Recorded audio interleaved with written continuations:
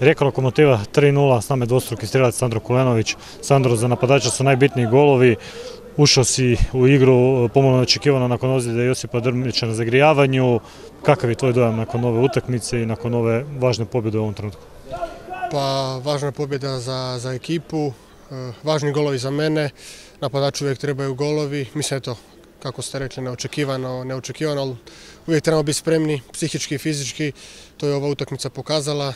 otvorili smo odlično sa tri gola u vrlo ranoj fazi i mirno smo priveli utakmicu u kraju i bilo je važno nakon, nakon Kiksa Gorice danas pobjediti i približiti im se na taj bod. Uspjeli smo u svom naumu, sad se okrećemo Istri.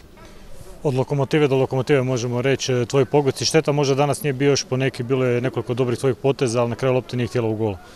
Pa slažem se, Evo, trebao sam, trebao sam još bar jedan, dva, imao sam dobre prilike, ali jako sam sretan zbog ova dva pogotka, puno mi znače kažem i kažem idemo dalje, okrećemo se dalje. U srijedu već e, gostovanje u Puli kod Istre, e, nakon polufinala kupa, dobra prilika za revanš. Pa želimo isprati taj gorak okus, e, nekako prekasno smo se bili probudili u srijedu i sad želimo, želimo, daćemo sve od sebe da, da uzmemo tri boda, bit će jako teško, ali opet e, Istra isto ima težak ritam, sad igra protiv Dinama sutra, sigurno neće ni njima biti lako, e, trebamo, trebamo biti na svom maksimumu i ući utakmicu kao što smo ušli danas i ne bojim se za tri boda. Puno hvala, čestitke na golovima, čestitke na pobjedi i sretnom nastavku sezone. Hvala.